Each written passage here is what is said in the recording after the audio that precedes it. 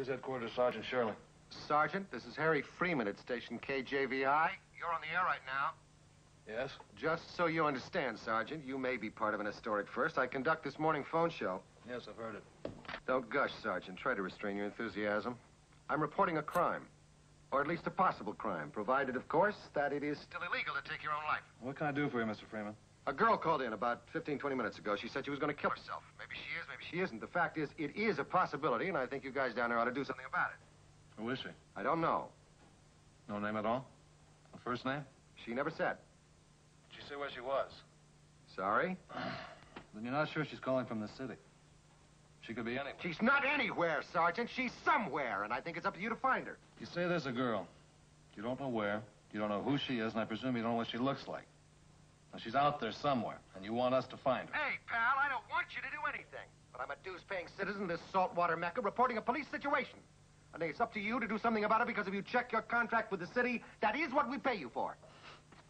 How do you expect us to find her? I expect you to look for her. Look, we'd look if we knew where to look, and maybe we'd find her. But the reality is, Mr. Freeman, there is absolutely nothing we can do, based on what you've given me. Oh. Oh, I, I got you, Sarge. When they bring in the body, that's when you go to work, right? You're oversimplifying, Mr. Freeman. Well, thanks very much, Sergeant Shirley. It's awfully nice to talk to you, really. I hope to God I never really need you guys for anything. You're about as useful as a G-string in a snowstorm. So much for our sentinels of law and order.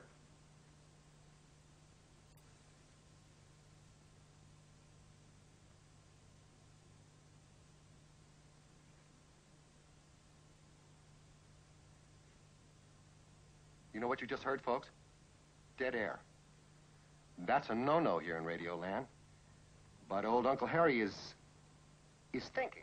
And the question is now, what? I mean, do we just sit around figuring we're getting our legs pulled? I want to tell you something, folks. I'm, I'm mad. I'm really mad. The steam is just pouring out of old Uncle Harry's ears. There's a guy down at the police station, you heard him, who said that the girl can't be found. The word was can't. Well, I'll tell you what I think. Maybe we'd better get cracking. Not just me, but all of us, because, uh, I guess she's one of us, one of Harry Freeman's little early morning family of kooks. And maybe we ought to take some responsibility for her. You game? I am. So, where do we start? Let's find out who she is and where she is and how to get in touch with her. This is 540-3599. Let's get some ideas in here. This is Mr. Conover in 314. I called 20 minutes ago about room service. That's right. All right, two eggs, easy over, black coffee, and a half a grapefruit. That's right. That's right. Now, look, uh, what about the maid? Yeah, I'm sure you did, but the fact is we had a little celebration here last night. The room needs a cleaning. Fine. Uh, will you try to get my home number for me again, will you? Harry, I think you're right about the tax situation, and I just wanted to give you my thoughts. A gift, and it's not even my birthday. What? Sir, I hate to arouse you from what is obviously a state of advanced catatonia, but have you been listening to the show this morning? In my car, a few minutes Then may ago. I suggest that you trot quickly back to your car and see if you can catch up with us. Because we're on a new subject. But I just wanted to...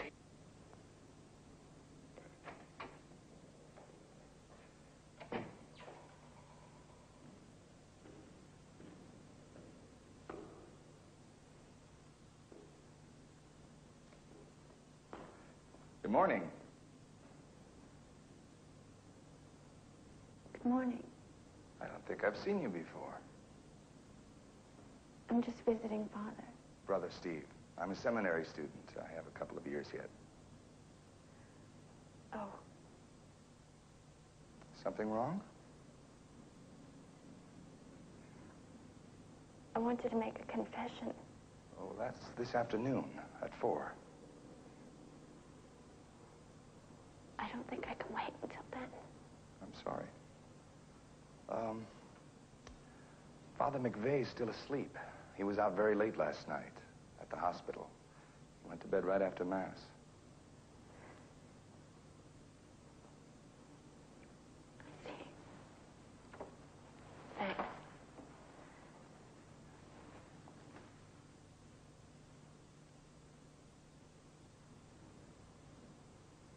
Wake him.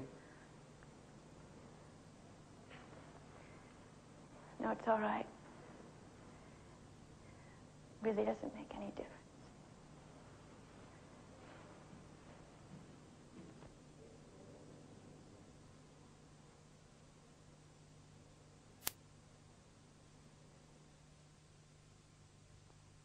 Uh, Mr. Freeman, Yes, ma'am. it occurred to me that that young girl you're looking for, she may not be from around here at all.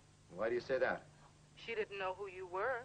Well, it's very flattering, ma'am, but a household word I'm not. Well, I think most people around here know about your program, even if they don't listen to it. you sure know how to hurt a guy, Mom. Well, it was just a thought. Well, it beats some of the ideas I've been getting. Thank you very, very much for calling. KJVI. Mr. Freeman, when that young girl called in, is there any way at all to tell where she was calling from? From the phone records or anything? I don't follow you, ma'am. I mean, would they have a record of the number she called from? Uh, no, I don't think so, but, uh, you've got something there. Thank you. Now, that lady had a terrific idea. If we can get our friend to call back again, maybe the phone company can help us track her down. I'll, I'm gonna, I'm gonna hold all the calls for a few minutes while I dial out. So please bear with me, folks. Good morning, madam. This is Harry Freeman, station KJVI. I'd like to find out how I can go about tapping a phone line to trace a call. I will connect you with a service representative. Thank you.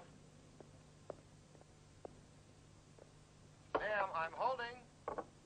Service, Mrs. Schindler, may I help you? Uh, Mrs. Schindler, this is Harry Freeman, station KJVI. We're on the air right now. What? Ma'am, I'm broadcasting a show at this moment on the radio. You're on the air.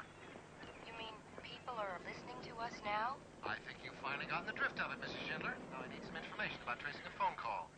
I'd have to put you in touch with our Mr. Butler. He'll be in around 9.30.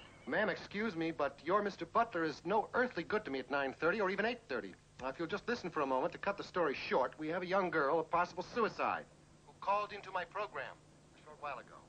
I think she might call back. What I want is to put a tap on my line so that if she does call back, we can trace the incoming call to find out where she is. I'm afraid that's private information, sir. Unless, of course, the request comes through a recognized agency such as the police or the fire department. Thanks, but I've tried the police. It's a matter of FCC and public utility regulation. I'm sure it is, honey, but I haven't read them lately. Perhaps if I switched you to the emergency supervisor for the area. That means you're going to pass me along to the next nitwit? It is a matter of procedure, sir. Our hands are tied without proper authorization. Lady, you're speaking English. And I'm speaking English, but somehow we're not communicating. Now, I'm talking about a girl who may be in the process of killing herself. If she's not dead now. The line is busy, sir. Will you hold? I'll hold, I'll hold.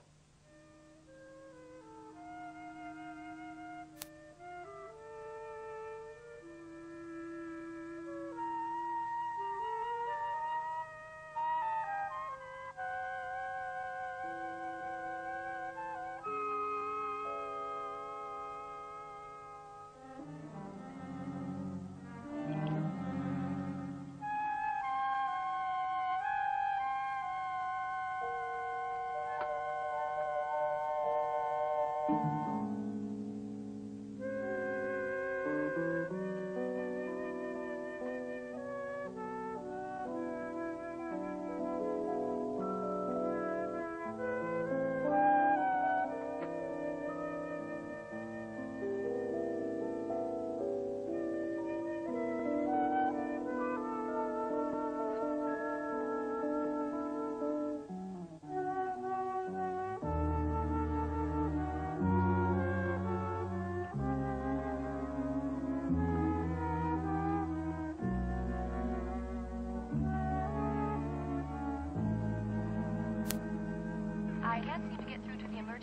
supervisor, sir. Is there a number where you could be reached?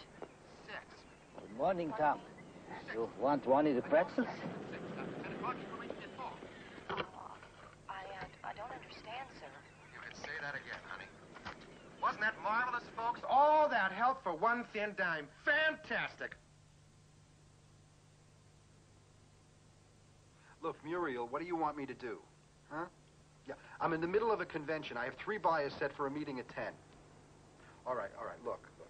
If Mark wants to spend the weekend with Joe and Lucy, that's fine. Right. Yeah. Now, I can't pick him up Friday night. No, I don't even know if I'll be home Friday night. Yeah. All right, well, why don't you let your sister do it, huh? No, I have an idea. I have an idea. Why doesn't he take the bus?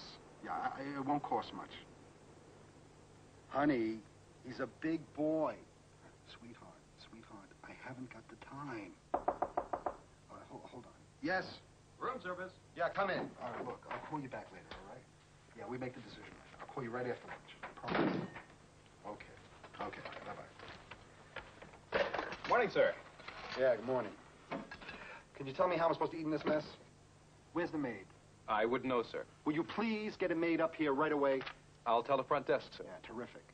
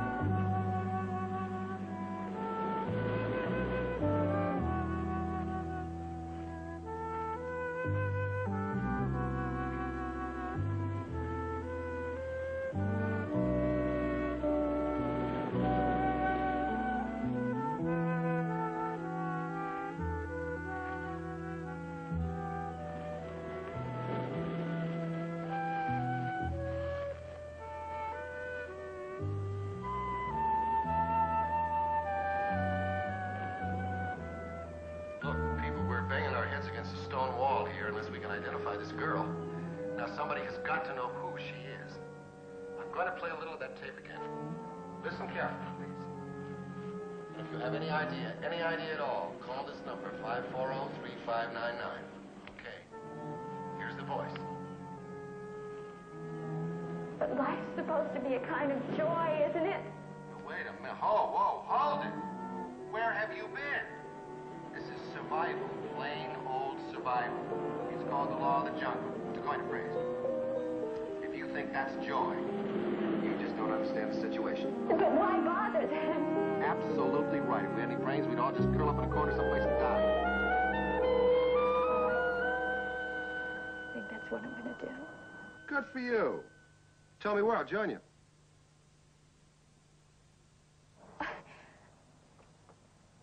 I don't know where. I mean, it really doesn't make any difference, does it? Oh, sure it does. How about, uh... Skydive off the roof of the Shelby Hotel. That's 20 stories down, splat. You'll be all over the front pages the next day, not to mention all over the street. A few people will notice. Nobody really care after a day or two, but you'll be somebody, sweetheart. Front page stuff. They may even spell your name right. Hey, you still there? All through? Um, Hello? Paul? Bill Butler. Hey, hi, Bill. Sorry to bother you at home. I've been listening to Freeman's program. Uh, yeah, so have I. All of a sudden, everybody has to make jokes about the phone company. Now, look, I know the man has a certain style, but he was pretty rough on one of our girls. Yeah, he was rough, uh, but you like you say, that's Harry's style. That's that's what gets those listeners. I understand, but come on, Paul. We must